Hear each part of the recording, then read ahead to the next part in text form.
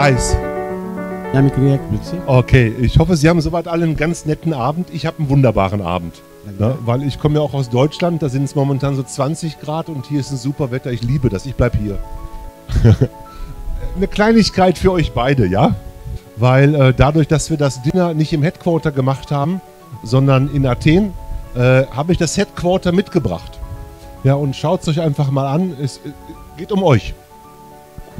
Ja, heute ist so ein großartiger Moment. Warum? Ich stehe vor der Wall of Fame. Wall of Fame heißt, hier sind unsere weltweit erfolgreichsten Führungskräfte. Äh, alles, was Platin-Orgaleiter-Titel hat oder auch höher, wird bei uns im positiven Sinne des Wortes aufgehängt. Hier sind sie, also das ist die Elite, wenn ich das so sagen darf. Ja. Und äh, wenn ich hier stehe, dann hat das einen Grund, dann werden wir nämlich jetzt gleich ein neues Mitglied aufnehmen.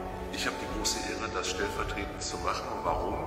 Weil das Platin-Dinner, so haben sich die beiden irgendwas entschieden, möchten sie gerne in ihrem wunderbaren Land haben. Das Land ist Griechenland.